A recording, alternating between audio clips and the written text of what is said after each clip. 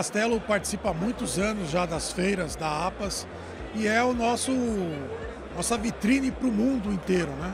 Que é uma feira internacional onde a gente recebe clientes de fora do Brasil e praticamente os mais importantes e os grandes clientes aqui no Brasil também.